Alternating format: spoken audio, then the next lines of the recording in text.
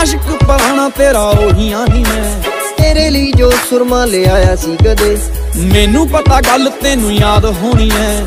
ਤੂੰ ਵੀ ਮੈਨੂੰ ਪਿਆਰ ਨਾਲ ਬੁਲਾਇਆ ਸੀ ਕਦੇ।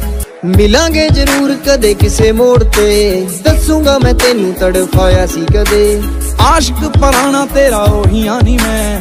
ਤੇਰੇ ਲਈ ਜੋ ਸੁਰਮਾ ਲਿਆਇਆ ਸੀ ਕਦੇ। ਮੈਨੂੰ ਪਤਾ ਗੱਲ ਤੈਨੂੰ ਯਾਦ ਹੋਣੀ ਐ। ਤੂੰ ਵੀ ਮੈਨੂੰ